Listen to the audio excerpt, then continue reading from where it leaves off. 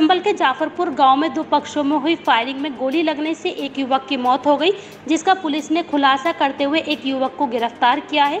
संबल के कोतवाली गुन्नौर क्षेत्र गाँव जाफरपुर में कुछ दिन पहले हुई फायरिंग में संजू पुत्र विजेंद्र की पेट में गोली लगने से इलाज के दौरान अलीगढ़ अस्पताल में मौत हो गई। आपको बता दें कि पकड़ा गया अपराधी थाना गुन्नौर में एक अपराधी किस्म का व्यक्ति था। संजू ने किसी पड़ोसी की ज़मीन जोत दी थी।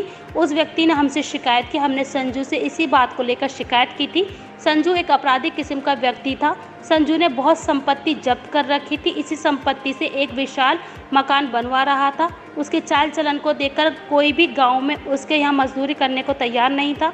पड़ोसी गाँव पूटरी के मजदूर उसके विशाल कायम मकान को बनवा रहे थे। पकड़े गए महिपाल पुत्र सोदान ने बताया कि मेरे पक्ष द्वारा उन मजदूरों को कहा गया कि तुम ऐसे व्यक्ति का मकान बना रहे हो जो कि जगह जगह ज़मीन पर कब्जा करता है। इसी बात को लेकर उन मजदूरों ने संजू से कह दिया, जिस पर संजू हमें मारने पीटने लगा। झगड़ा इतना बढ़ गया कि उसने अपने तमंचे से फायर कर दिया, जिससे गोली संजू को जा लगी और उसकी इलाज के दौरान अलीगढ़ में मौत हो गई। पुलिस ने जगन्नाथ मंदिर से अपराधी को गिरफ़्तार कर लिया है। आरोपी के कब्जे से एक तमंचा और कारतूस बरामद हुए हैं। पकड़े गए आरोपी ने अपना जुर्म कबूल कर लिया है और आरोपी को जेल भेजा जा रहा है। बाकी अपराधी जल्द ही पकड़कर सलाखों के पीछे भेज दिए जाएँगे। है, एक मारपीट में एक व्यक्ति की हत्या हो गई थी गोली मार करके संधू की हत्या हो गई थी।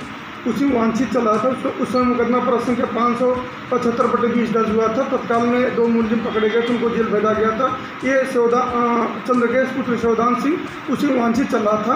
उसे गिरफ़्तार किया गया उसकी निशानदेही पर जो प्रयुक्त कट्टा और कारतूस थे भी बरामद किया गया। आज उसे भी जेल भेजा जा रहा है।